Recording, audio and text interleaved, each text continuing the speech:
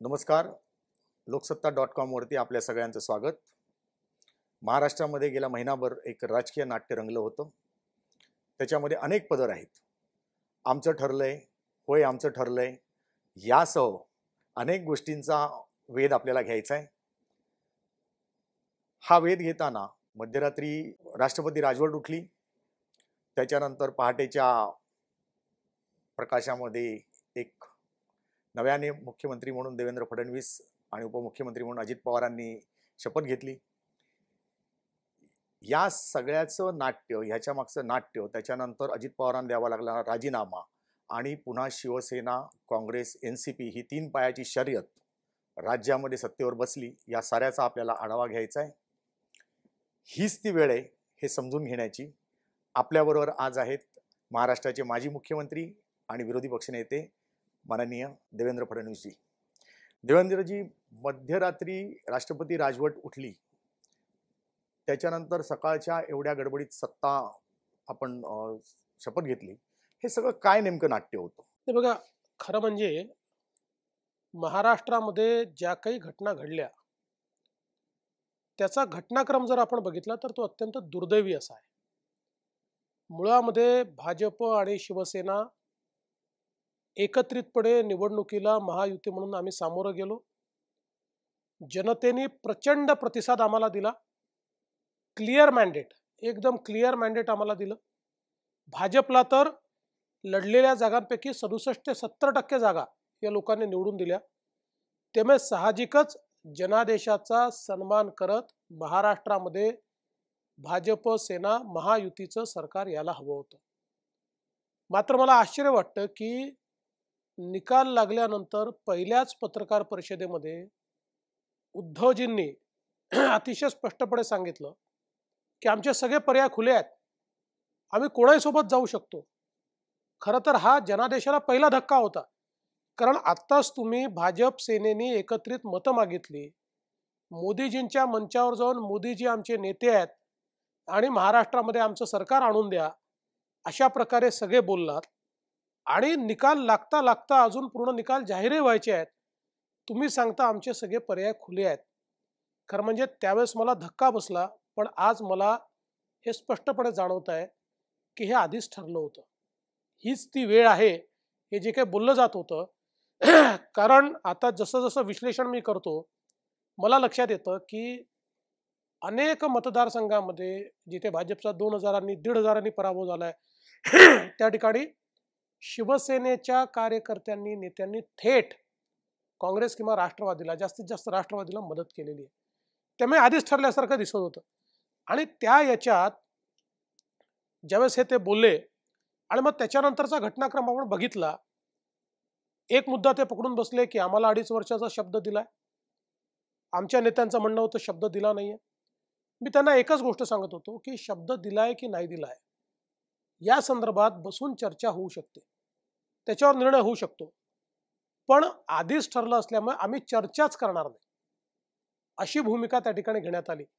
म्हणजे मला खूप दुःख या गोष्टीचं आहे की उद्धवजी माझे मित्र आहेत. पाच वर्ष आम्ही सोबत सरकार चालवलं. एकही क्षण असा नाही की ज्यावेळी उद्धवजींचा शब्द मी खाली पडू दिला. एकही क्षण असा आहे असा नाही की माझ्या एखाद्या कृतीने उद्धवजींना किंवा त्यांच्या पक्षाला अपमानित व्हावं लागलं. मी त्यांना सांभाळून घेतलं.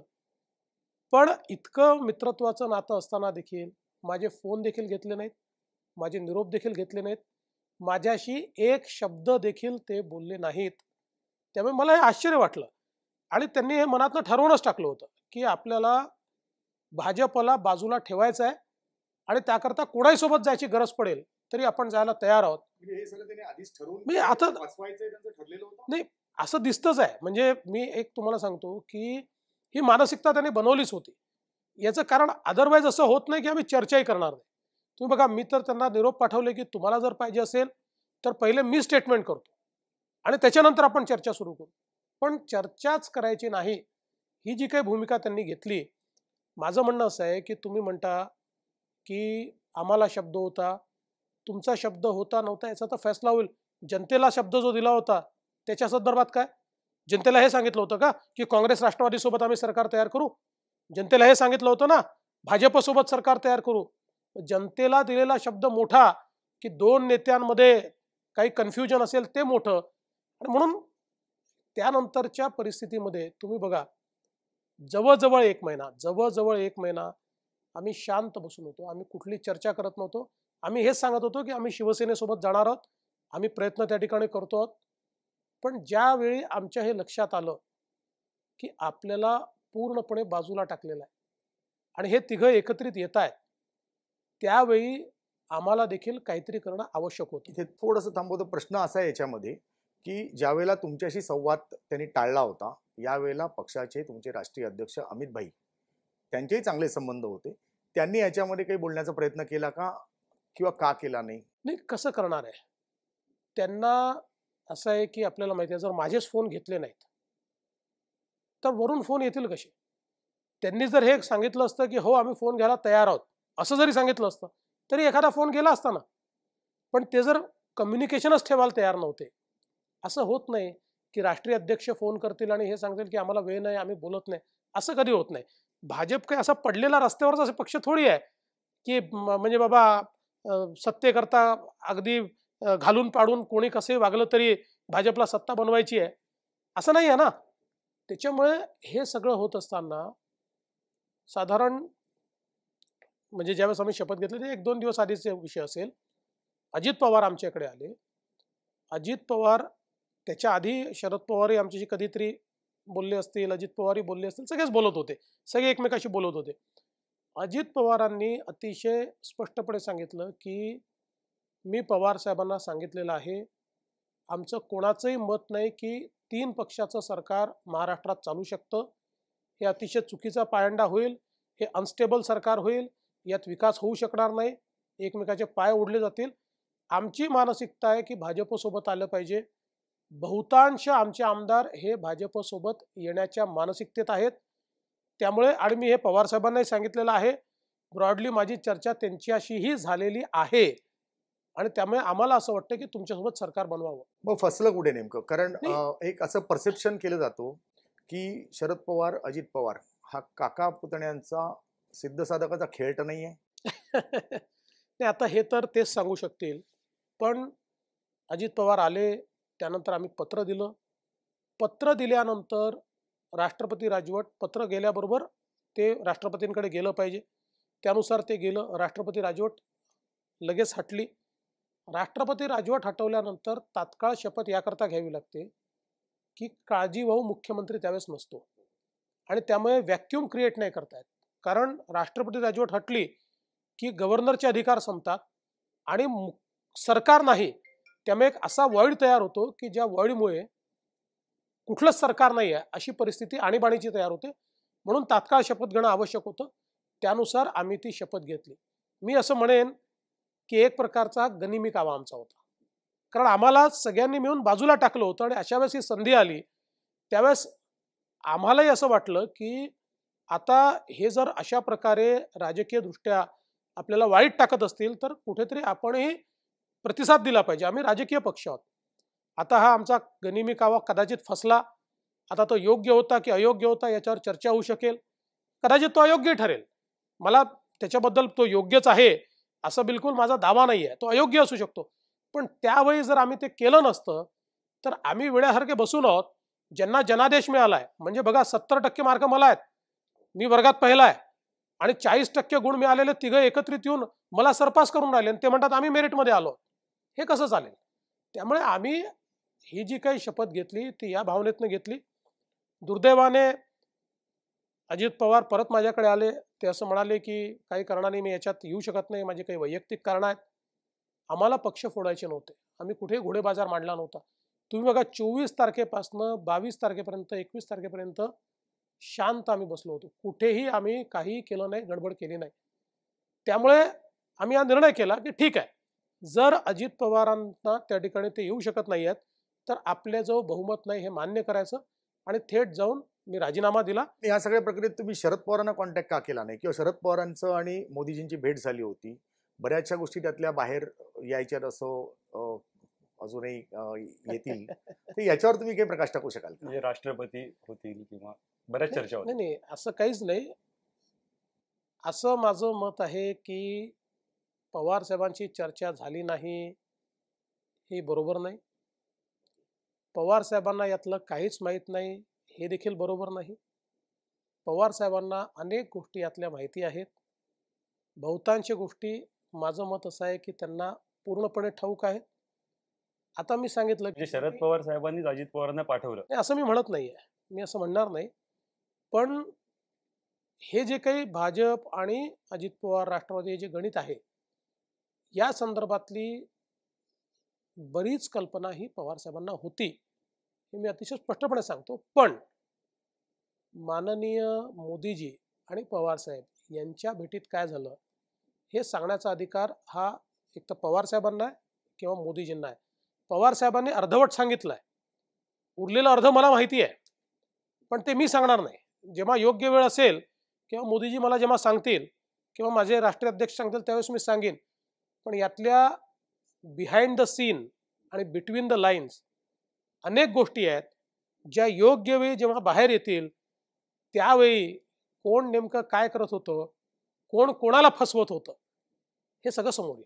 बरं तुम्ही मगाशी एक मुद्दा मांडला की तुमच्या अनेक जागा त्या शिवसेनेने शिवसैनिकांनी त्या सपोर्ट केल्या नाही म्हणून पडल्या.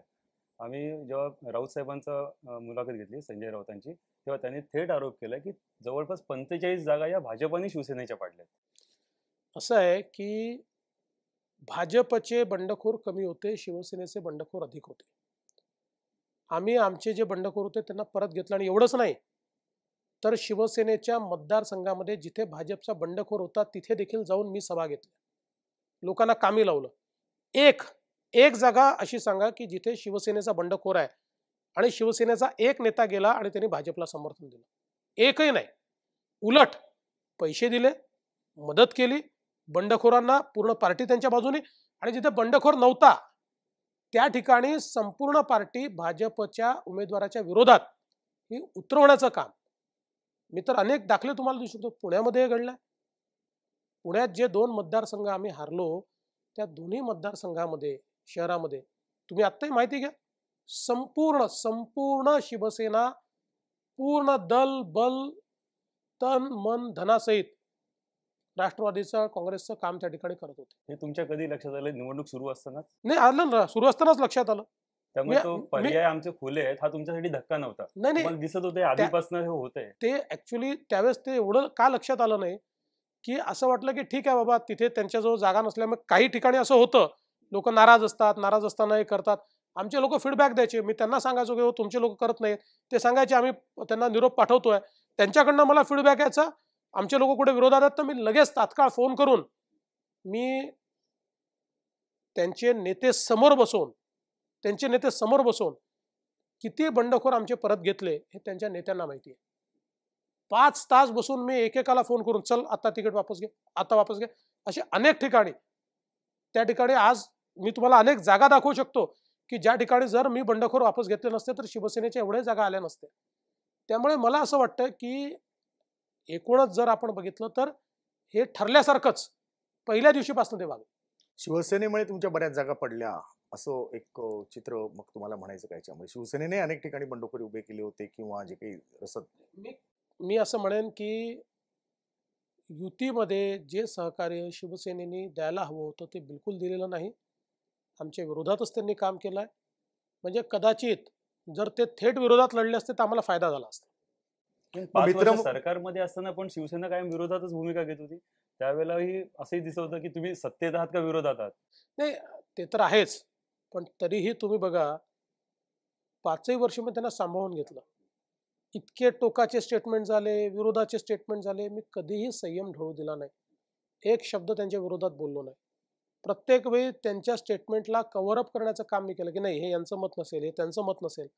असं म्हणून एक कोएलिशनचा जो धर्म असतो तो धर्म निभवण्याचं काम मी केलं पण त्यांनी मित्र म्हणून पाठीत खंजीर खुपसला हे आता एकूण चित्र स्पष्ट होते का मी असं म्हणेन बघा पाठीत खंजीर किंवा दिला वगैरे अशा अशी भाषा वापरणार नाही पण. एक गोष्ट निश्चित सांगतो की जो जनादेश आहे महाराष्ट्राच्या जनतेने दिलेला जनादेश त्या जनादेशाचा विश्वासघात शब्द सांगतो विश्वासघात हा शिवसेनेने केला हे मात्र स्पष्ट आहे.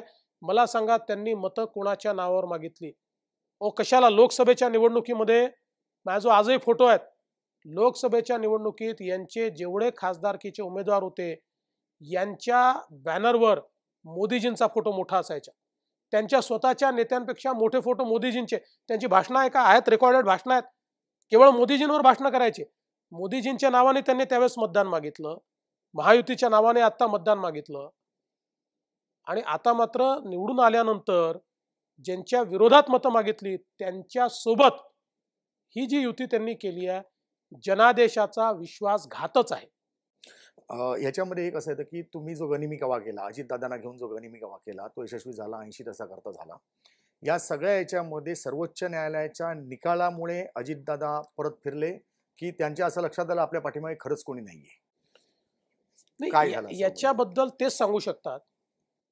पण सर्वोच्च न्यायालयाचा जो निकाल आला तो निकाल देखील मला असं वाटतं की म्हणजे सर्वोच्च न्यायालयाला निकाल देण्याचा अधिकार आहे. पण साधारणपणे माझं मत असं आहे की हा निकाल आमचे जे रूल्स आहेत विधानसभेचे हे विधानसभेचे रूल्स हे संविधानाच्या अंतर्गत बनलेले रूल्स आहेत.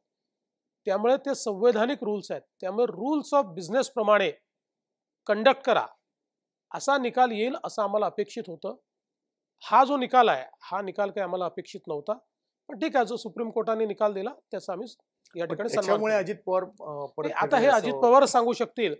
मला बोलताना ते असं म्हणाले की माझी काही वैयक्तिक कारणं अशी आहेत की ज्यामुळे आत्ता मला सोबत राहता येत नाहीये आणि म्हणून मी परत जातो. तुम्ही एकदा नंतर असे म्हणलात की अजित पवार पवारांबद्दल मी नंतर सविस्तर बोलेनच. ते नक्की काय आहे? नाही बोले ना. काय आहे की मी सांगितलं ना या संपूर्ण नाट्याचे बिहाइंड द सीन्स आणि बिटवीन द लाईन्स अशा अनेक गोष्टी आहेत. पण ते बोलण्याकरता योग्य वेळ यायची आहे. झलक तर सांगू शकाल ना? नाही, पूर्ण सांगू. झलक कशाला? पूर्णच सविस्तरच सांगेल. संपूर्ण बिहाइंड द सीन सगळंच सांगेल. बरं शरद पवारांनी एका एका शब्दामध्ये भाजपाचं आणि तुमचं वर्णन केलं होतं या सगळ्या प्रकरणात की हा सत्तेचा उन्माद आहे. आणि अनेक जेव्हा लोकांशी आम्ही बोलतो इंटरव्ह्यू करतो पोल घेतो आम्ही पण लोकांच्या संपर्कात राहायचा प्रयत्न करतो. आणि खूप वेळेला लोकांचा सूर तसा होता की भाजपला कुठेतरी थोडा गची बाधा झाली का? थोडं जरा अगदी उन्माद नाही म्हणता येणार पण असं एक त्यांचा. शरद पवारांचा थेट तुमच्याबाबत प्रश्न विचारला होता तेव्हा देवेंद्रजींना गर्व झाला मुख्यमंत्री पदाचा गर्व झाला अभिमान झाला. आणि तो जनतेने उतरवला समोर पहिलवानच कोणी नाही इथपासून सगळ्या जे. काही तुम्ही भाषणं करत होतात आणि त्या संदर्भात पवारांनी हे. बंडखोरांच्या संदर्भात असं तुमच्याच एका नेत्यांनी वक्तव्य केलं की आम्ही नुसती नजर टाकायची खोटी आहे तर सगळं आमच्यात यायला उत्सुक आहे ते- तर कुठेतरी असं आत्मपरीक्षण करताना वाटतं का की थोडंफार आपण जरा जास्तीच पहिली गोष्ट सांगतो की भारतीय जनता पक्ष आणि मी आम्हाला विशेषतः मला माझ्या क्षमताही माहिती आहेत आणि माझ्या मर्यादाही माहिती आहेत आणि म्हणून गेल्या पाच वर्षामध्ये जे लोक माझ्या संपर्कात आले ज्यांनी मला जवळून बघितलं ज्यांनी दुरून बघितलं असा कोणीही व्यक्ती एकही इन्सिडन्स असा सांगू शकणार नाही की ज्यात मला सत्तेचा उन्माद आहे मला सत्तेचा गर्व आहे किंबहुना सत्ता आमच्या डोक्यातच जाऊ शकत नाही. कारण आम्ही ज्या ठिकाणून आलो आहोत मी पहिल्या दिवशी सांगितलं मला गमावण्यासारखं काही नाही. जे काय ते कमवायचंच आहे. आणि तो सन्मान मला विश्वास आहे की मी कमवला आहे कारण पाच वर्ष सातत्याने जनतेकरता काम केलं. घराचा परिवाराचा विचार केला नाही. पाच वर्षात एकही सुट्टी घेतली नाही. पाच वर्षामध्ये घरच्यांना वेळ दिला नाही. पाचही वर्ष चोवीस तासातले जेवढे तास उपलब्ध होते त्या प्रत्येक तासामध्ये जनतेचं काम करण्याचा प्रयत्न केला. त्यामुळे मला असं वाटतं की उन्माद आणि गर्व या सगळ्या गोष्टी असं असतं म्हणजे मला कधी कधी आश्चर्य वाटतं की ही मंडळी असं बोलून राहिली जसं आम्ही हारलोच निवडणूक. हे हारलेत निवडणूक आम्ही नाही हारलो. निवडणूक आम्ही जिंकलो आहोत. एकशे पाच जागा एकोणीसशे नव्वद नंतर एका पार्टीला शंभरच्या वर जागा दोनदाच मिळाल्या. त्या या चौदा आणि एकोणीस भाजपला मिळाल्या यांना नाही मिळाल्या. पवार साहेबांच्या पक्षाला आजपर्यंत शंभर जागा मिळालेल्या नाहीत. त्यामुळे हे तर असं बोलायला लागले. अनैसर्गिक युती करून आणि पॉलिटिकल अर्थमॅटिक करून जणू काही आम्हाला लोकांनी नाकारलं लोकांनी आम्हाला घरी बसवलं आम्ही हार ते हारले आहेत. लो आमचाच जर उन्माद असता लोकांनी आम्हाला हा हे खरं आहे की मी पुन्हा येईन अशी एक कविता मी म्हणालो होतो. ती एक सहज कविता होती. लोकांना आवडली. लोकांनी डोक्यावर घेतली. आठ भाषांमध्ये लोकांनी त्याचं ट्रान्सलेशन केलं. आणि तो एक ते वाक्य झालं. पण कशा करता येईल म्हटलं होतं? राज्य करण्याकरता येईल म्हटलं होतं का? सेवा करण्याकरता येईल म्हटलं होतं. पाच वर्ष सेवे करू म्हणूनच मी काम केलं. त्यामुळे मला असं वाटतं की हे उन्माद वगैरे या ज्या काही गोष्टी आहेत आता ज्यावेळेस असं असतं ना की आता हे पॉलिटिकल अर्थमॅटिक जमलं तर त्याच्या पाठीमागे तत्वज्ञान उभं करण्याचं काम आहे. हे जे काही पॉलिटिकल गणित त्यांनी जमवलं आहे त्यांना माहिती आहे अनैसर्गिक गणित आहे आपल्याला लोकांनी नाकारलं आहे तरी देखील आपण सत्तेवर आलोत मग त्याच्यामागे काहीतरी तत्वज्ञान उभं केलं पाहिजे. म्हणून एक मोठं तत्वज्ञान उभं करण्याचा प्रयत्न ते करतायत की गर्वात गेले होते यांना लोकांनी नाक अरे नाकारलं तुम्हाला आहे. तुम्हाला किती चाळीस टक्के जागा आहेत लढलेल्या जागांपैकी. मला सत्तर टक्के जागा आहेत. माझ्या पक्षाला सत्तर टक्के जागा मिळालेल्या आहेत. तेव्हा मला नाकारलेलं नाही आहे लोकांनी. मला सांगा गेल्या वीस पंचवीस वर्षाच्या इतिहासामध्ये सत्तर टक्के जागा घेणारा पक्ष कुठला? महाराष्ट्रामध्ये. भाजपच आहे. हे तत्वज्ञान ते जे उभं करतायत ना दिशाभूल करणारं तत्व गेल्या पाच वर्षामध्ये तुम्ही राष्ट्रवादीचा पाया जवळपास महाराष्ट्रातनं उखडून टाकला होता जिल्हा परिषदा असतील महानगरपालिका असतील या सगळ्या पार्श्वभूमीवरती फडणवीस म्हणून शरद पवारांचा कुठेतरी एक राग त्यांनी व्यक्त केला असं तुम्हाला वाटतं का? नाही असं आहे की आता तुम्ही फडणवीस म्हणून हा एक फारच काय म्हणतात बोलका अशा प्रकारचा शब्द वापरलेला आहे. खरं एक गोष्ट सांगतो की मी काय केलं काय नाही केलं मी नेता झालो की नाही झालो मला लोक किती मानतात नाही मानतात. पण माझ्या नेतृत्वाचं एकच यश आहे. की पवार साहेब हे पुरोगामी नेते आहेत. पण प्रत्येक वेळी थेट तर ते करू शकत नाही पण इनडायरेक्टली माझ्या जातीची आठवण त्यांना करून द्यावी लागते हे माझं यश आहे. म्हणजे दुसऱ्या गोष्टीची नाही माझ्या जातीची त्यांना आठवण करून द्यावी लागते प्रत्येक वेळी. आणि मी ब्राह्मण आहे ना दुनियाला माहिती आहे मी ब्राह्मण आहे म्हणून. पण त्या माझ्या जातीची आठवण आताही तुम्ही बघा परवा जो त्यांनी एबीपीला इंटरव्ह्यू दिला त्या इंटरव्ह्यूमध्ये इनडायरेक्टली इनडायरेक्टली पुन्हा त्यांनी माझ्या जातीची आठवण करून दिली. लोकांनी मी आहे तसं मला स्वीकारलेलं आहे. पण मला खरोखर असं वाटतं की महाराष्ट्राच्या या संपूर्ण राजकीय पटावर मी निश्चित माझं काहीतरी स्थान या ठिकाणी मिळवलेलं असेल. अन्यथा वारंवार आडून आडून मी कोणत्या जातीचा आहे हे सांगण्याची गरज पवार साहेबांना तरी पडली नसते. ते सोडून अजून कोणी हा प्रयत्न केल्याचं तुमच्या निदर्शनास आलेलं नाही. बऱ्याच लोकांनी केलं. असं आहे की आमचे जे विरोधक आहेत यांची आयुध ज्या क्षणी संपतात त्या क्षणी ते माझ्या जातीवर येतात. पण ते ठीक आहे. माझं मत असं आहे की जात नेत्यांच्या मनात असते ती जनतेच्या मनात नसते. आता जे हे तीन पक्षांचं महाविकास आघाडी बनली आहे. या तिघांच्या तीन दिशा आहेत वैचारिक काँग्रेस आणि शिवसेना एकत्र आली आहे. काँग्रेसने शिवसेनेला पाठिंबा याच्यामध्ये दिलाय. ही तीन पायाची शर्यत किती काळ चालेल? कारण आठवडा लोटला अजूनही मंत्रीपद खातेवाटप झालेलं नाहीये. आणि तुम्हीच त्यांचं वर्णन अनैसर्गिक युती असं केलंय. ते मी त्यांचं वर्णन जे आहे ते ऑटो रिक्षा केलं आहे ही तीन चाकाची ऑटो रिक्षा आहे. बघा ऑटो रिक्षा चांगलीच असते. ऑटो रिक्षा वाईट नसते. सामान्य माणसाचं वाहन आहे. पण त्याच्या स्पीडला एक मर्यादा आहेत. ऑटो रिक्षा ही कारच्या स्पीडने जाऊ शकत नाही. ऑटो रिक्षा ही फार मजल मारू शकत नाही. तशी ऑटो रिक्षा आहे. एक शॉर्ट टर्म करता ऑटो रिक्षा असते. इथून तिथे छोटंसं एक जर्नी करायचं असेल छोट्या प्रवासाकरता ऑटो तशी ऑटो रिक्षा आहे. त्या ऑटो रिक्षाला पवार साहेबांनी एक आपलं इंजिन दिलेलं आहे. अशी ही ऑटो रिक्षा आता चालवण्याचा त्यांचा प्रयत्न आहे. हे फार काळ चालेल असं मला वाटत नाही. याचं कारण असं आहे की तुम्ही देशाचा राजकीय इतिहास बघा. देशाच्या राजकीय इतिहासामध्ये तीन पायाचं सरकार कधीच चाललं नाही आहे म्हणजे अटलजींनी अनेक पक्ष सोबत घेतले पण प्रमुख पक्ष हा त्यावेळेस जास्त सीट घेतलेला होता. हे अनेक पक्षाचं सरकार कधी चालतं? की एक प्रमुख पक्ष जो आहे तो मोठ्या प्रमाणात जागा त्याच्याजवळ आहेत. आणि मग त्याला अनेक पक्षांनी इथे समसमान जागा असलेले तीन पक्ष आहेत. छप्पन चौपन्न चौवेचाळीस म्हणजे जवळजवळ सारख्या जागा आहेत. असं सरकार या देशाच्या इतिहासात कधीही चाललेलं नाही. दुसरं काँग्रेस अशा प्रकारच्या सरकारमध्ये जेव्हा जेव्हा गेली काँग्रेसचा इतिहास आहे सहा महिने आठ महिने नऊ महिने याच्यावर कधीही काँग्रेस टिकली नाही. आणि या ठिकाणी तर अशी अनैसर्गिक ही युती आहे की काँग्रेस आणि शिवसेना आता ते कॉमन ग्राउंड शोधून राहिले आहेत. मला आनंद आहे त्याचा. पण मला असं वाटतं की माननीय हिंदू हृदय सम्राट शिवसेना प्रमुख बाळासाहेब ठाकरे यांचे विचार यांची भाषणं यांचे लेख हे सगळं जर आपण बघितलं तर काँग्रेस आणि शिवसेना सोबत कशी येऊ शकते हा प्रश्न माझ्यासमोर पडतो. बरं मी त्याच्या पलीकडे जाऊन सांगतो की मला आश्चर्य उद्धवजींचं याकरता वाटतं. उद्धवजी म्हणतात की मी बाळासाहेबांना शब्द दिला होता. पण मला असं वाटत नाही की बाळासाहेबांनी असा शब्द घेतला होता की काँग्रेससोबत जाऊन मी मुख्यमंत्री करेन. ज्या विचारधारेला बाळासाहेबांनी टोकाचा विरोध केला टोकाचा. म्हणजे बाळासाहेबांसारखे शब्द तर आपण उच्चारू शकत नाही. कसे शब्द बाळासाहेबांनी उच्चारलेले आहेत? त्यांच्यासोबत जाऊन आणि बघा आमच्यासोबत जेव्हा उद्धवजी होते मातोश्रीतनं आदेश निघायचे आणि आम्ही पाळायचो. आता मातोश्रीतले आदेश नाही आहे. आता मातोश्री कधी सिल्वर ओकवर आहे कधी नेहरू सेंटरला आहे कधी ट्रायडंट हॉटेलला आहे ही अवस्था त्या ठिकाणी झाली. आणि काँग्रेसची अवस्था तशीच आहे. आत्ता सत्तेकरता काँग्रेस जरी सोबत आली आता प्रश्न हा आहे की एन आर सी सारखं बिल आहे. काय करणार आहेत?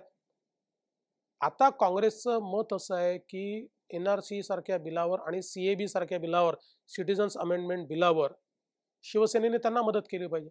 आता शिवसेनेची अवस्था कशी आहे? आज तुम्ही बघितलं असेल मला कोणीतरी सांगितलं की आज काहीतरी अग्रलेख लिहिलेला आहे. आता बघा ना. आजचा अग्रलेख म्हणजे काँग्रेसलाही खुश ठेवायचा आहे. आणि आपल्या मतदारांनाही बरं वाटलं पाहिजे. आली ना परिस्थिती आता. तारेवरची कसरत म्हणजे करावी लागली. पहिला फ्लॅश पॉईंट म्हणता येईल एनआरसी असेल? नाही नाही फ्लॅश पॉईंट वगैरे नाही. मी तुम्हाला एक सांगतो यांनी कॉम्प्रोमाइजच केला आहे त्यामुळे फ्लॅश पॉईंट वगैरे येत नाही. हे आता सरकार चालवण्याकरता रोज कॉम्प्रोमाइज करणार. या साऱ्याच मूळ तत्व जे आहे मूळ तत्व ते मूळ तत्व आता बाजूला जाणार.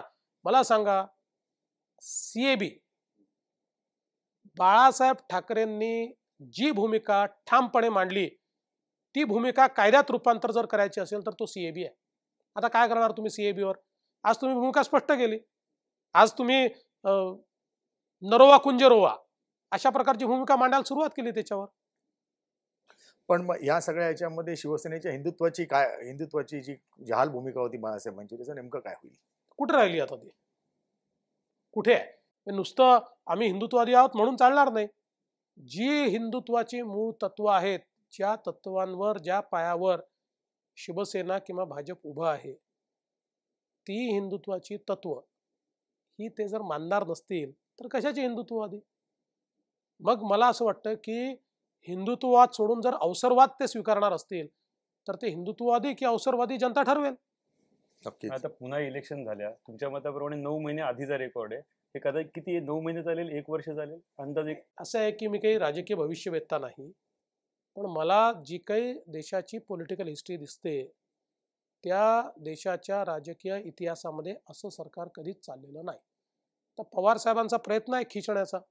किती ते ओढू शकतात तेवढं ओढण्याचा प्रयत्न करतील ते. आणि नंतर काय होईल? म्हणजे बीजेपीला किती मग तुम्ही. वेगळेच लढाल हे तिघं एकत्र लढतील? काही प्रॉब्लेम नाही आहे बघा आजच्या कर्नाटकाच्या निकालांनी दोन गोष्टी स्पष्ट केल्या जनादेशाचा जे अपमान करतात जनता त्यांना कधीही माफ करत नाही हे कर्नाटकने अतिशय स्पष्टपणे या ठिकाणी दाखवून दिले जनादेश तुम्ही खूप वेळा शब्द वापरता. मग गोव्यामध्ये काय झालं? गोव्यामध्ये तर भाजपाने जनादेश पायदळी तुडवला हे गोव्यामध्ये भारतीय जनता पक्षामध्ये लोक आले. असं काँग्रेसला जनादेश होता ना? म्हणजे जनादेश कोणालाच नव्हता तिथे. गोव्यात कोणालाच जनादेश नव्हता. कारण तिथे युती नव्हती. ट्रिपोल अलायन्स नव्हता. गोव्यामध्ये भाजपला चौदा जागा होत्या काँग्रेसला पंधरा जागा होत्या. वीस जागा एकवीस जागा हव्या होत्या. त्यामुळे जनादेश काँग्रेसला नव्हता आणि तो भाजपलाही नव्हता. जे उरलेले लोक होते ते भाजपसोबत आले त्यामुळे आम्ही काही काँग्रेसकडनं जनादेश हिरावून घेतला आणि आपलं सरकार केलं असं नाही आहे. वेगळ्या शब्दात तेच झालं ना. नाही, असं कसं? काँग्रेस नाही. ना ना ना ना. बघा इथे भाजप आणि शिवसेनेला स्पष्ट बहुमत होतं. मी तुम्हाला एक सांगतो शिवसेना वेगळी लढली असती आणि कोणाही सोबत गेली असती तर आम्ही तक्रार करायचं कारण नाही. हरियाणामध्ये आम्ही समजा यांच्यासोबत गेलो कोण आपले. चौटालांसोबत. गेलो ना आम्ही चौटालांसोबत. त्याचं कारण आम्ही वेगवेगळे लढलो आहे. तिथे आमच्या पार्टनरला डंप करून चौटाला सोबत आम्ही गेलो नाहीये. किंवा देशामध्ये अनेक वेळा अशा वेगवेगळ्या लोकांसोबत आम्ही प्रासंगिक युती केली असेल. पण असा एकही प्रसंग नाही की आम्ही ज्यांच्या सोबत निवडणुका लढलो त्यांना सोडून आम्ही दुसऱ्यासोबत सरकार तयार केलं. ही प्रतारणा आहे. तुम्ही ज्यांच्या नावाने ज्यांच्या सोबत मतं मागितली त्यांना सोडून ज्यांच्या विरोधात मागितली त्यांच्यासोबत जायचं ही प्रतारणा आहे. भविष्यामध्ये या सगळ्या पार्श्वभूमीवरती शिवसेना भाजप पुन्हा एकत्र येऊ शकते का? तुमचं काय मत आहे? असं आहे बघा राजकारणामध्ये काहीही होऊ शकतं पण आता याचा निर्णय शिवसेनेला करावा लागेल. कारण भाजपने नाही तोडली होती शिवसेनेने तोडली. भाजप नाही गेलं दूर. शिवसेना दूर गेली. भाजपने नाही सरकार तयार केलं. शिवसेनेने तयार केलं. त्यामुळे हा निर्णय शिवसेनेला करावा लागेल. पण- त्यांचे दरवाजे ओपन आहेत. आम्ही कधी बंदच केले नव्हते. पण आज आमचे दरवाजे खुले आहेत असं म्हणून मग त्यांनी परत त्याच्यावर म्हणायचं की आम्हाला आवश्यकता नाही. तर आम्ही काही रस्त्यावर पडलेले नाही एक या निमित्ताने या निवडणुकीच्या निमित्ताने एक प्रश्न निर्माण होतो की मधल्या काळामध्ये काँग्रेस राष्ट्रवादीमधनं खूप मोठ्या प्रमाणामध्ये तुम्ही इनकमिंग केलं. त्याच वेळेला पक्षामध्ये खडसे असतील तावडे असतील बावनकुळे असतील, पंकजा अनेकांना तुम्ही तिकीटं नाकारली. ह्या सगळ्याचा फटका तुम्हाला बसला का? आणि आता जे सध्या जे चित्र दिसतंय की भाजपमधला ओबीसी गट नाराज आहे तर नेमकी वस्तुस्थिती काय आहे? पहिली गोष्ट अशी आहे की काही लोकांचे तिकीटं निश्चितपणे नाकारले गेले. आणि ही जी काही तिकीटं नाकारली गेली ती आमच्या स्तरावर नाही. महाराष्ट्र युनिटने या संदर्भात एकमताने निर्णय केला. पार्लमेंटरी बोर्डाला दिला. पार्लमेंटरी बोर्डामध्ये काही चर्चा होऊन पार्लमेंटरी बोर्डाने त्यातल्या काही लोकांना नाकारलं. आमच्या युनिटचा निर्णय त्यांनी मान्य केला नाही. विशेषतः याच्यामध्ये चंद्रशेखर बावनकुळे यांचं जे तिकीट नाकारलं गेलं याचा निश्चित फटका आम्हाला पडला. आणि विदर्भामध्ये विशेषतः पूर्व विदर्भामध्ये काही जागांवर जे आम्हाला अपयश आलं ते कदाचित चंद्रशेखर बावनकुळेंचं तिकीट नाकारलं गेलं नसतं तर ते आलं नसतं. आता तिकीट का नाकारले गेले? ते योग्य होते की अयोग्य होते? हे सेंट्रल पार्लमेंटरी बोर्ड सांगू शकेल. हा निर्णय महाराष्ट्राचा नाही. महाराष्ट्राचा निर्णय यांना तिकीट देण्याचा होता. त्यामुळे याच्यावर मी अधिक भाष्य करणार नाही. आता ओबीसीचा विषय जिथपर्यंत आहे एक गोष्ट मी अतिशय स्पष्टपणे सांगतो की भाजप हा ओबीसींचाच पक्ष आहे. खरं म्हणजे आता मोदीजी जात वगैरे मानत नाही. पण देशाचे सर्वोच्च नेते मोदीजी आहेत. ते स्वतः ओबीसी आहेत. या देशाचे पंतप्रधान आणि ज्यांच्या नेतृत्वात आम्ही काम करतो ते आमचे पंतप्रधान स्वतः ओबीसी आहे. अजून दुसरा ओबीसी नेता कोण त्यांच्यापेक्षा मोठा आहे? एवढंच नाही. काल परवाच्या निवडणुकीमध्ये आमचे जे एकशे पाच लोक निवडून आले त्यात पस्तीस मराठा आहेत सदतीस ओबीसी आहेत अठरा एस सी एस टी आहेत. म्हणजे आमचे नव्वद पंच्याण्णव टक्के लोक जे आहेत ते जर आपण बघितले आणि त्यात सगळ्यात मोठा गट जर बघितला तर तो ओबीसी आहे. सगळ्यात जास्त आमचे ओबीसी निवडून आलेले आहेत. ओबीसी समाजाला भाजप हा नेहमीच आपला पक्ष वाटलेला आहे. ओबीसी नेतृत्व हे आमच्याकडे राहिलेलं आहे. आता ज्यावेळेस निवडणुकांमध्ये आपण जिंकतो आता आम्ही जिंकलो पण सरकार झालं नाही. सरकार जर झालं असतं तर अशा विषयांवर चर्चा होत नाही. जेव्हा सरकार बनत नाही जेव्हा एखादी निवडणूक आपण हारतो एखादं अपयश येतं त्यावेळेस जास्तीत जास्त मंथन होतं चिंतन होतं अनेक बाबी बाहेर येतात अनेक गोष्टींवर जास्त चर्चा होतात. तसं मंथन चिंतन चाललंय. त्यातनं चांगलंच निघेल. बघा पंकजाताईंचा जिथपर्यंत सवाल आहे पंकजाताईंची मी स्वतःही चर्चा केलेली आहे. त्या आमच्या नेत्या आहेत आणि निश्चितपणे भारतीय जनता पक्षाच्या कोर कमिटीत त्या आहेत. मला विश्वास आहे की ज्या वावड्या त्यांच्याबद्दल उठवल्या गेल्या त्या वावड्या चुकीच्या आहेत आणि त्यांनी स्वतः त्याचं क्लॅरिफिकेशन अतिशय स्पष्टपणे दिलेलं आहे. नाथाभाऊ देखील आमचे ज्येष्ठ नेते आहेत. ठीक आहे नाथाभाऊंची काही नाराजी असेल तर नाथाभाऊ हे पक्षातल्या वरिष्ठांशी बोलतील. वरिष्ठांशी चर्चा करून त्याच्या संदर्भात जी काही त्यांची नाराजी असेल तर ती दूर करण्याचा प्रयत्न होईल. पण भाजपमधनं काहीतरी ओबीसी बाहेर जाणार आहे आणि ओबीसींचं काहीतरी या ठिकाणी खच्चीकरण होत आहे अतिशय चुकीचं आहे. ओबीसी समाज हा नॅचरल कोर्समध्ये भाजपसोबत आहे आणि आमच्या आमदारांच्या संख्येवरनं तर ते अतिशय क्लिअर कट दिसत आहे की सगळ्यात जास्त ओबीसी आमदार महाराष्ट्राच्या असेंब्लीतले हे भाजपमध्ये निवडून आलेले आहेत. मला असं वाटतं की हे ठीक आहे चिंतन मंथन चाललेलं आहे. अशी परिस्थिती ज्यावेळेस येते त्यावेळेस ही चिंतन मंथनाची अवस्था असतेच. त्यातनं आम्ही बाहेर पडू चांगल्या प्रकारे बाहेर पडू. तुम्ही अनेक सरकारमध्ये असताना अनेक चांगले निर्णय घेतले. मुंबईसाठी शहरांसाठी अनेक चांगले निर्णय घेतले. मेट्रो असेल अनेक गोष्टी असतील त्याच्यामध्ये. विकास कामं जोरात आज मुंबईमध्ये महाराष्ट्रामध्ये वेगळ्या ठिकाणी सुरू आहेत. केंद्राकडनं मोठ्या प्रमाणामध्ये निधी येतोय. या सगळ्या पार्श्वभूमीवरती नवीन सरकारने मुख्यमंत्री म्हणून उद्धव ठाकरे यांनी काही प्रकरणांमध्ये स्थगिती द्यायला सुरुवात केली. खास करून कारशेडपासून सगळ्या गोष्टींचा अनेक गोष्टींचे आढावे घ्यायला सुरुवात केलेत.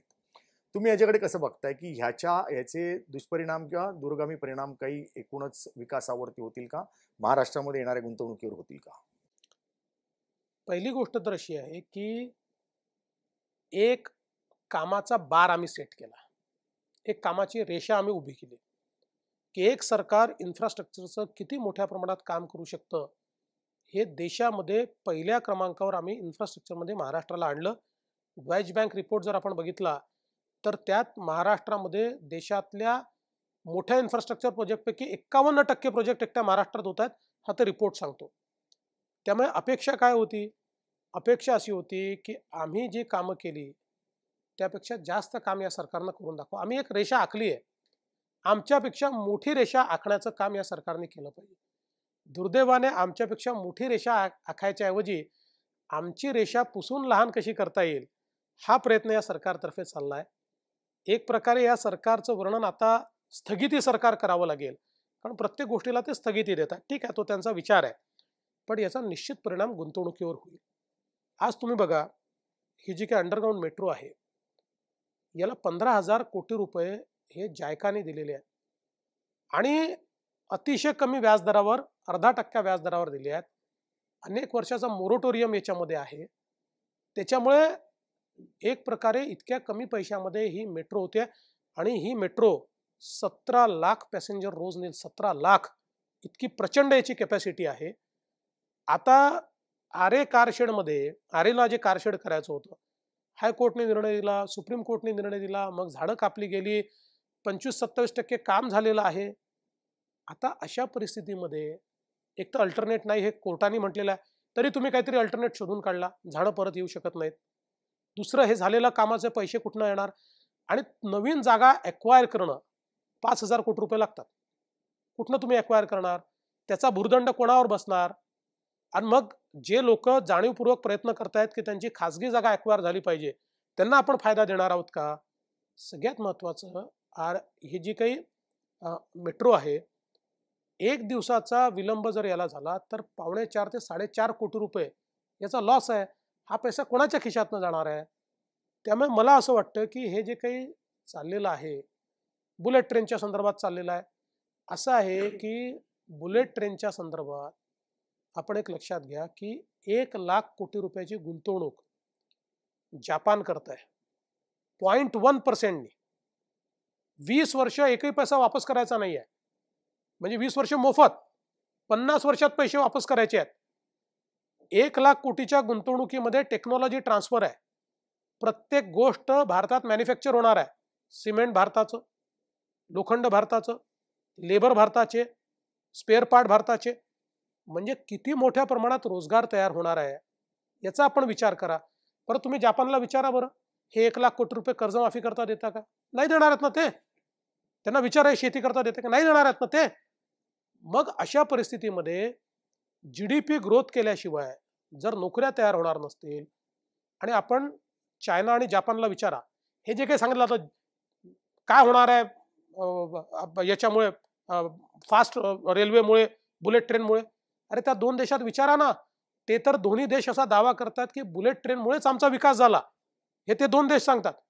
आणि या ठिकाणी मग गुजरातचे लोक महाराष्ट्रात येणार आणि मग महाराष्ट्रामध्ये काय होणार आणि मुंबईत काय होणार? आता कुठल्या जमान्यात आपण वावरतोय? आणि ज्याला यायचं आहे त्याला काय ट्रेन नाही आहे गुजरातमधनं? त्याला काय विमान नाही आहे गुजरातमधनं? रोजच्या शंभर ट्रेन गुजरातमधनं येऊन राहिल्यात. तो काय वाट पाहतोय? नाही बुलेट ट्रेन आली की मग आम्ही मुंबईमध्ये येऊ. तोपर्यंत आम्ही येणार. काहीतरी आपले असे या ठिकाणी मला असं वाटतं की असं तत्वज्ञान काहीतरी चुकीचं उभं करायचं. मी विचारतो तुम्ही ज्यावेळेस एअरपोर्ट बांधले किती लोक विमान वापरायचे हो? आजही देशामध्ये तीन टक्के लोक विमान वापरतात. तीन टक्के. किती गुंतवणूक केली आहे तुम्ही? का केली? विमानतळामुळे इंडस्ट्रीयल ग्रोथ होते. विमानतळामुळे जी डी पी ग्रोथ होते. तशीच ही बुलेट ट्रेन आहे. पण जाणीवपूर्वक लोकांमध्ये चुकीचे संदेश टाकायचे. मला असं वाटतं हे हिताचं नाही आहे आज मल्टीलॅटरल एजन्सीजच्या जरी लक्षात आलं की नवीन सरकार आलं की या राज्यामध्ये पॉलिसी बदलतात आणि आम्ही गुंतवलेले पैसे डंप होतात. कशाला कोण येणार आहे? आज तुमच्या ट्रान्स हार्बर लिंक करता पंधरा हजार कोटी रुपये त्यांनी दिले. कशाला जापान येणार आहे? कशाला आज इंडस्ट्री जी आहे ती इंडस्ट्री वाट पाहते की बाबा हे रोजच काहीतरी स्थगित करून राहिले. तर ज्या इंडस्ट्रीयल पॉलिसी आहेत त्या पॉलिसी तरी कन्सिस्टंट आहे की नाही? त्या असल्याशिवाय गुंतवणूक करायची नाही. कारण यांनी उद्या परत पॉलिसी बदलली तर आपण मरून जाऊ. म्हणजे गुंतवणुकीवर मोठा परिणाम आहे. नाही पण तुम्हाला खरंच वाटतं हे होणार आहे कारण हे बोलतायत पण तुम्हाला खरंच वाटतंय की Samruddhi Mahamarg trans harbour railway किंवा मेट्रो हे स्थगिती खरोखर होईल काय? फक्त बोलतील एक आणि करतील माझं मत असं आहे की हे स्थगित करणं योग्य नाही हे त्यांनाही पटेल कदाचित ते करणारही नाहीत. पण जे वातावरण तयार होतं बघा इन्व्हेस्टमेंट ही सेंटिमेंटवर चालते. आजचं सेंटिमेंट निगेटिव्ह आहे. New government is stopping every single work हा संदेश देशामध्ये चालला आहे हा जगात चाललेला आहे. हे सेंटिमेंट एकदम चुकीचं असतं. बघा का महाराष्ट्रात इतकी गुंतवणूक येत होती? आम्ही सरकारमध्ये आलो त्यापूर्वी महाराष्ट्रामध्ये येणारी थेट परकीय गुंतवणूक महाराष्ट्र पाचव्या सहाव्या नंबरवर असायचा तीन वर्ष गेले सतत पहिल्या नंबरवर आहे चार वर्ष. आणि त्यातली दोन वर्ष अशी आहेत की ज्याच्यामध्ये एका वर्षी एकोणपन्नास टक्के आणि एका वर्षी बेचाळीस टक्के. म्हणजे देशात येणारी सगळी गुंतवणूक महाराष्ट्रातच येते. ही परिस्थिती आली आहे. आणि त्याच गुंतवणूकदारांना जर इथल्या पॉलिसीजमध्ये इनकन्सिस्टन्सी दिसली इथलं सरकार प्रत्येक गोष्ट थांबवतं असं दिसलं ते काय येतील गुंतवणूकदार? नाही येणार ते. बरं त्या मेट्रोचा विषय होता. की झाडं जी कापली हे तुम्हालाही आठवत असेल की ते खूप तो गाजलं होतं की सहा वाजता तो निर्णय आला आणि साडेसात वाजता रात्रीच्या अंधारामध्ये वूड कटर तिथे अवेलेबल होते आणि एका रात्री ती झाडं दोन हजारच्या आसपास तोडली गेली. तर सगळ्यांचा आरोप होता की झाडं तोडण्यावर नव्हतं म्हणजे जे पाठीराखे आहेत त्यांचंही म्हणणं होतं की झाडं तोडण्याला आक्षेप नाही पण इतकं असं गुपचूप काय का करावं लागलं? हे गुपचूपचा विषयच नाहीये ना. कोर्टाचा रात्री असं झाडं दोन नाही, हजार झाडं तोडल्याचा कोर्टाचा निर्णय आल्यानंतर असं आहे आता ते रात्री तोडायचे की सकाळी तोडायचे हे तर सरकार ठरवत नाही. तिथे जी काही एजन्सी काम करते ती एजन्सी ठरवते. तो त्यांनी निर्णय घेतला.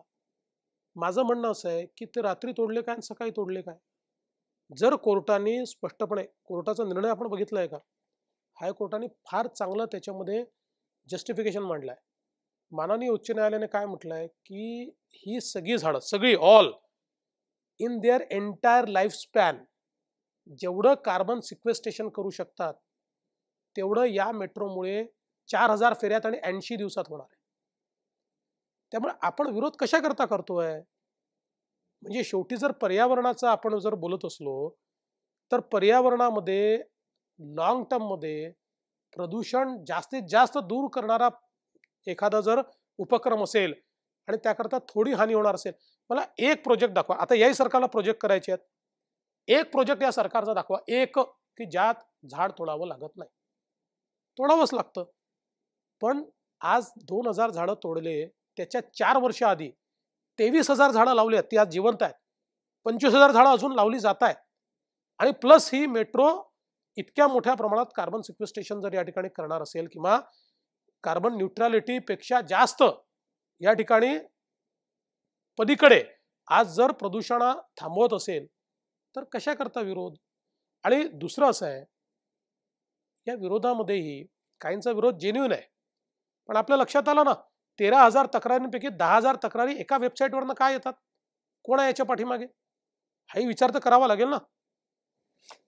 आता तुम्ही विरोधी पक्षनेते म्हणून पहिल्या दिवशी जी काही चुणूक दाखवली सरकारला आहे सरकार नियमबाह्य आहे असा जो काही हल्लाबोल केला होता.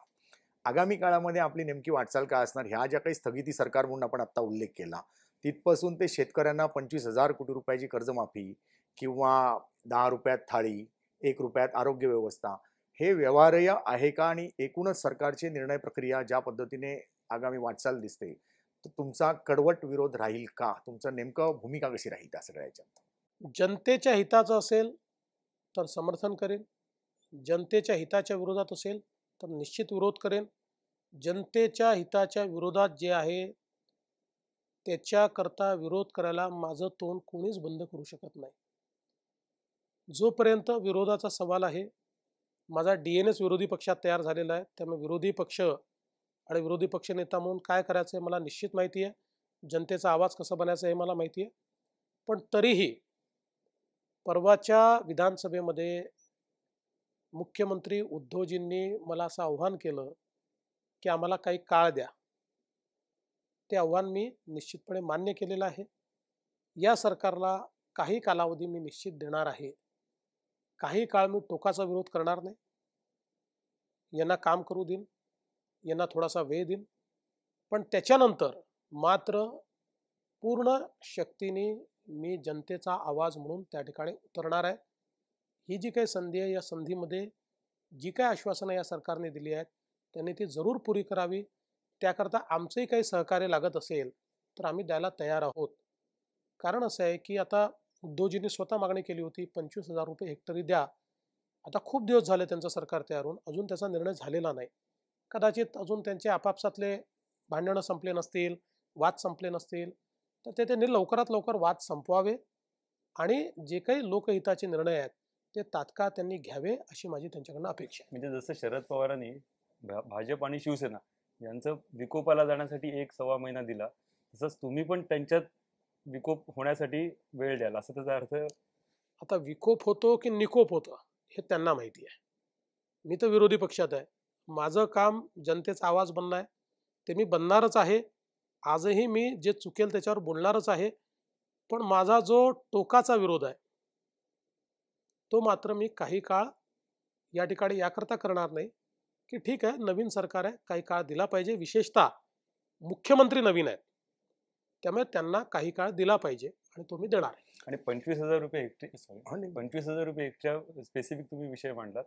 तर मुख्यमंत्री अशी भूमिका घेऊ शकतात की याच्यासाठी केंद्राने मदत करायला पाहिजे आणि केंद्र मदत करत नाही म्हणून आम्ही देऊ शकत नाही तर काय तुमची भूमिका राहील असं आहे की केंद्राला जी मदत करायची असते ती केंद्र करतच. आजपर्यंत केंद्राने जी काही मदत करायची ती दरवेळेस केली आहे यावेळेस करेल. पण आम्ही घोषणा करू आणि केंद्राने पैसे द्यावे असं कसं झाले मी सरकारमध्ये होतो. केंद्र सरकार आमचं होतं. मी कधी म्हटलं नाही. मी सांगितलं केंद्र देईल तर ठीक नाही तर आम्ही देऊ. आजपर्यंत या देशामध्ये जेवढी कर्जमाफी झाली कुठलंही राज्य असो म्हणजे आम्ही केली उत्तर प्रदेशने केली मध्य प्रदेशने केली छत्तीसगडनी केली राजस्थाननी केली पंजाबनी केली कर्नाटकनी केली कोणाला केंद्राने पैसे दिले? हे स्वतःच्या भरोशावर करायचं असतं. म्हणजे आम्ही घोषणा करू आणि दुसऱ्याच्या जोरावर करू असं नाही चालत. आपल्या घोषणा आपल्या जोरावर कराव्या लागतात. केंद्र सरकारची जी भूमिका आहे केंद्र सरकारकडे काय अशा तिजोऱ्या भरलेल्या आहेत का? की आम्ही पैसे ठेवलेले आहेत बाबा तुम्ही मागा आणि आम्ही तुम्हाला देतो असं नसतं. त्यांचे आपले कार्यक्रम असतात त्यांच्या प्रायोरिटीज असतात एक राज्य नसतं त्यांना शंभर राज्य पा म्हणजे सगळे पण अठ्ठावीस राज्य सगळे पाहावे लागतात. केंद्रशासित टेरिटरीज त्यांना पाहावे लागतात. आणि त्यामुळे मला असं वाटतं की आपण जर घोषणा करायच्या असतील आपल्या स्वतःच्या जोरावर केल्या पाहिजेत. केंद्रावर टाकून पळपुटेपणाचं धोरण करू नये. तर आपल्याबरोबर होते महाराष्ट्राचे माजी मुख्यमंत्री देवेंद्र फडणवीस. त्यांनी खूप चांगल्या पद्धतीने आपल्याशी संवाद साधलेला आहे. त्याबद्दल लोकसत्ता डॉट कॉमच्या वतीने त्यांचे मनापासून आभार. धन्यवाद. Thank you